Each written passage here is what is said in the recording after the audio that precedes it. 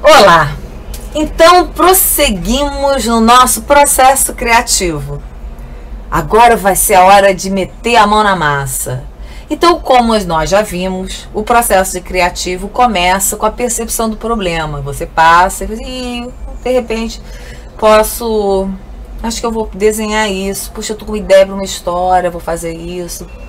Você percebe o que, que você tem que fazer. Depois disso, ele passa por um processo de preparação, onde você vai estudar, estudar, estudar, ver o que, que você precisa para você é, botar esse, essa sua ideia adiante. E aí, depois você passa por um processo chamado incubação, que é aquela hora que você está assim, meio de bobeira, e aí vou fazer assim.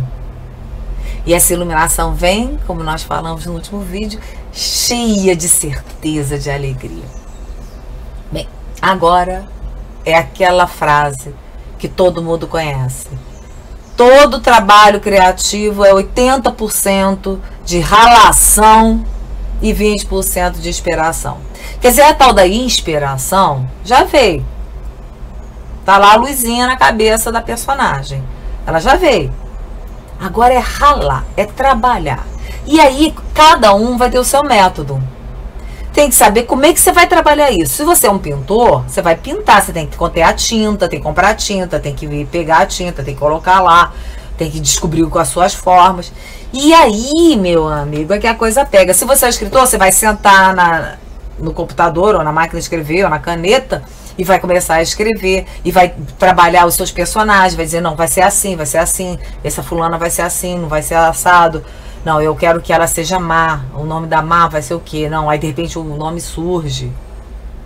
E cada um, se for um cientista, ah, eu tenho que fazer o projeto, tenho que escrever o projeto, eu quero fazer isso, tem que pegar a verba, onde é que vem a verba, como é que vai pagar isso? Eu tenho equipamento? Então, cada é, criativo vai começar a ralar a partir daí. E aí, nessa época de ralação, tudo esse processo vai e volta, vai e volta. Porque de repente você tá no meio de um livro e pá, e você para. E fala assim, não. Agora eu não sei mais como continuar. Aí você vai, faz, prepara o café novamente, pensa, volta, dorme, tem a ideia, vai para lá, acha ruim, já joga fora, volta. E aí você começa aqui a sua preparação. Muito bem, a criança nasceu o seu produto criativo está pronto. Pode ser o livro, pode ser o seu evento. Pense, quando é evento na época da ciência, o negócio é mais complicado, porque às vezes aí demora 20 anos, 30 anos, né? Um livro pode demorar 3 anos, 4 anos, dependendo de, do que, que você quer. Se você vai fazer uma pesquisa bibliográfica antes, você vai ter que trabalhar muito, né? Uma vez eu quis escrever a vida da minha família. Nossa, eu teria que ir para o Ceará, teria que ir para arquivos, teria que ver um monte de coisa para poder escrever os 100 anos de confusão que eu estava com vontade de escrever. E, mas infelizmente o meu tio, que estava ainda com a memória fresquinha das histórias, acabou falecendo antes do projeto continuar. Mas, é, e agora não tenho mais ninguém vivo da época, né, para poder dar conta. Eu teria que inventar muito mais do que necessário.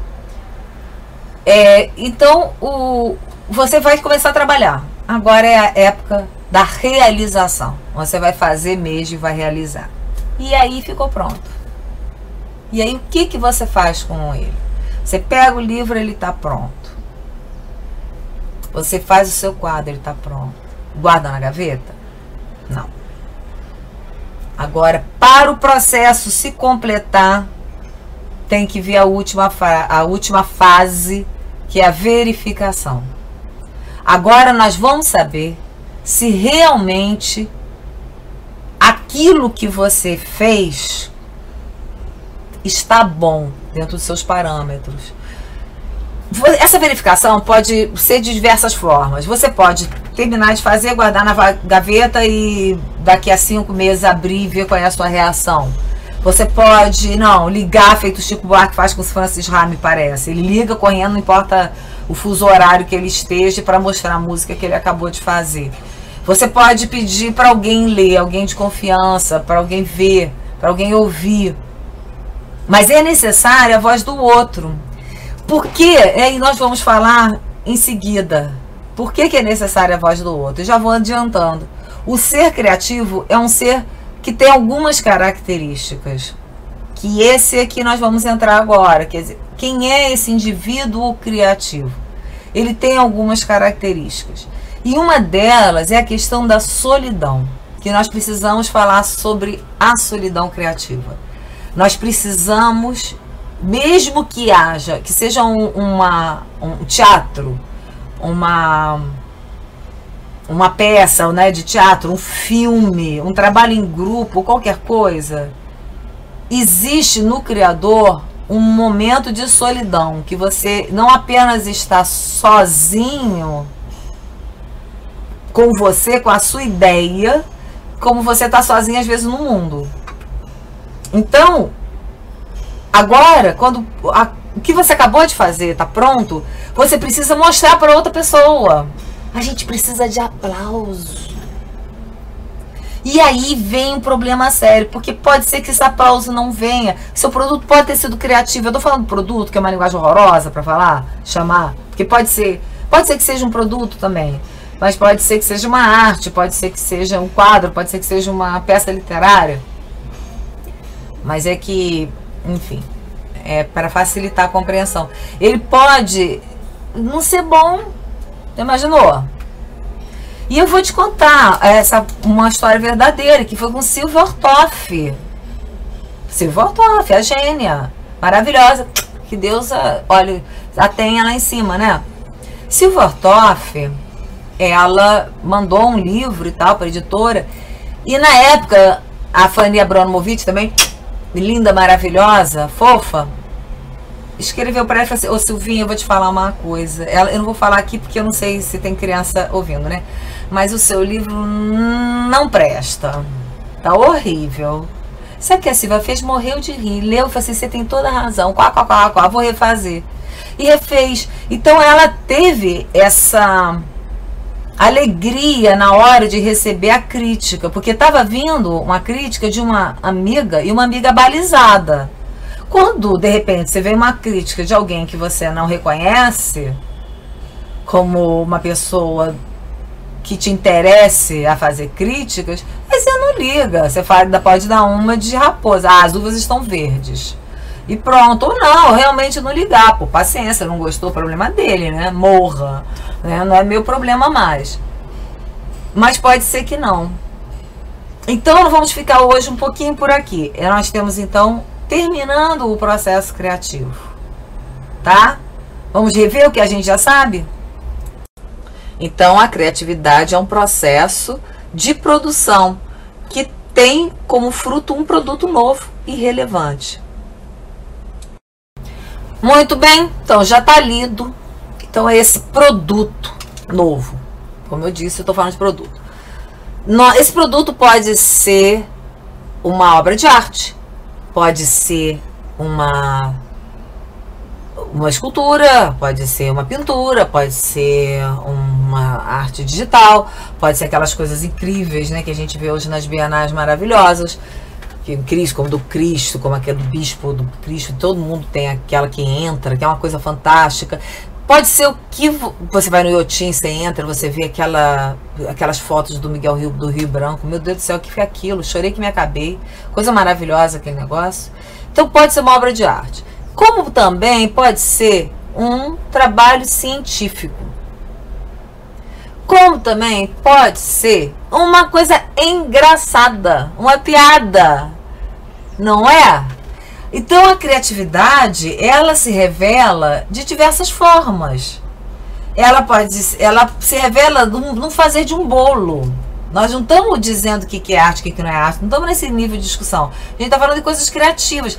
Agora, então, na culinária, você já viu que tem tanta coisa esquisita, né? Que se come. Tem, tem comida que sai fumaça, que congela. Uma coisa incrível, maravilhosa. Eu queria provar de tudo. Então, agora está nessa hora. Há um estudioso chamado Arthur Kestler que ele estudou como é que funciona a criatividade, como são os processos de é, que quando a gente que a gente pode descrever os objetos saídos na arte, na ciência e no humor. Então ele parte de um nome que se chama dissociação. Então ele diz que todo produto criativo ele parte de uma dissociação. Elementos opostos que se associam. Então essa daí é essa dissociação. Então o que, que aconteceria no humor?